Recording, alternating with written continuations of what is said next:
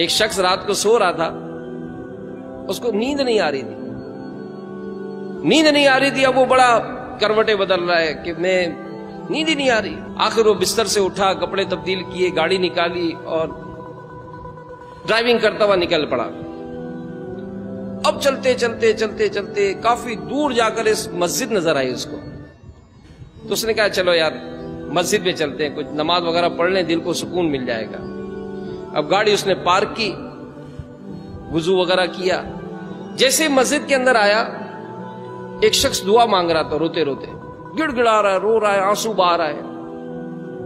اب اس شخص نے جب اس کو روتے ہوئے دیکھا تو دل میں اس کے خیال آیا کہ لگتا ہے یار اس کے مدد کے لیے مجھے بھیجا ہے۔ یا اس کی مدد کے لیے میں یہاں آیا ہوں۔ اب جیسے وہ دعا سے فارغ ہوا، اس نے آگے بڑھ کر سلام کیا اور اس سے پوچھا کہ بھائی خیریت؟ آپ اتنا رو رہے ہیں؟ تو کہنے لگا کہ میری بیوی کا آپریشن ہے صبح۔ میرے پاس رقم نہیں ہے۔ بہت پریشان ہوں۔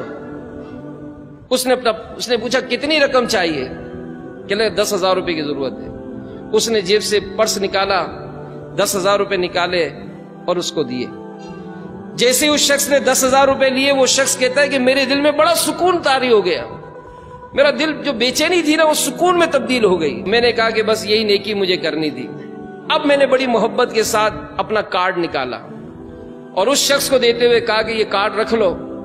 جب بھی آپ کو ضرورت ہو، آپ میرے پاس آ جانا۔ تو اس شخص نے دس ہزار تو رکھ لیے۔ کارڈ واپس کر دیا۔ کہ اس کارڈ کی مجھے ضرورت نہیں ہے۔ کہنے لگا، نہیں، رکھ لو۔ جب ضرورت ہو تم میرے پاس آ جانا، تمہاری میں مدد کر دوں گا۔ کہ نہیں، میرے پاس اس سے اچھا پتا ہے۔ کمال ہے جب اس سے اچھا پتا ہے تو مجھ تک، مجھ سے کیوں لیے؟ تو کہنے کون ہے جس کا تمہارے پاس پتا ہے؟ کہ جس نے آج تمہیں بھیجا ہے۔ جس نے آج تمہیں بھیجا ہے۔ ارے، میں جب غم زدہ ہوں گا، جب میں پریشان ہوں گا، اپنے رب کی بارگاہ میں گڑ گڑاؤں گا، اللہ میرے مسائل کو حل فرما دے گا۔ یا اللہ اس ویڈیو کو شیئر ضرور کریں۔ ہو سکتا ہے آپ کے ایک شیئر سے یہ بات کسی کے دل میں اتر جائے۔